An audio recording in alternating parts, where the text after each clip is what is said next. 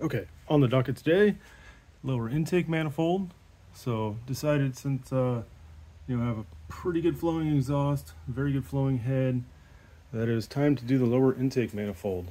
I had had this thing for a little while. This is the uh, rotating upper intake from uh, Big R Motorsports, and with a 65 millimeter throttle body, but went ahead and got a CNC'd ported lower intake manifold from BoPort here and the key difference is you can kind of see like the openings look similar-ish.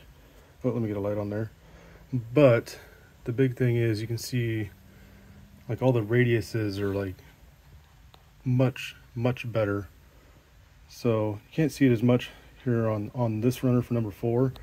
But if you look down here, one of the middle runners, see how it's like a nice straight shot there, kind of looking straight down on it and then you can look especially on that radius closer to the water jacket it's much much better. On top of that we also have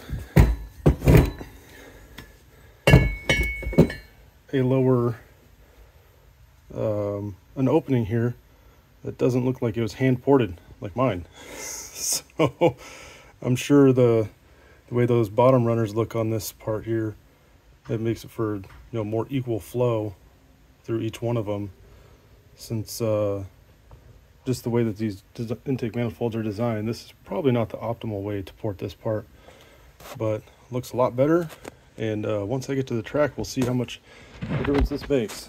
Apparently dudes from BoPort say that they gained like like 70 some horse on a 500 wheel horsepower car going from basically an unported intake to their CNC'd one.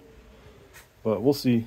And then you can also just notice too, see the, the bosses for the fuel injectors on two and three.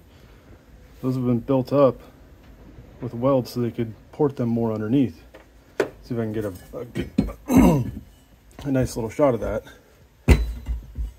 Oh yeah. You can see here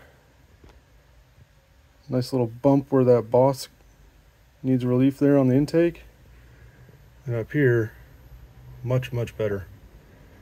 Honestly, it looks like a lot of the difference is going to be in these two middle runners here. So, sorry, it's kind of hard for this thing to focus on any of this stuff in here. See if I can get it to try and do it here. Yeah. Motion sickness. Maybe you guys get motion sick on this. Anyway, get it on the car, see what happens.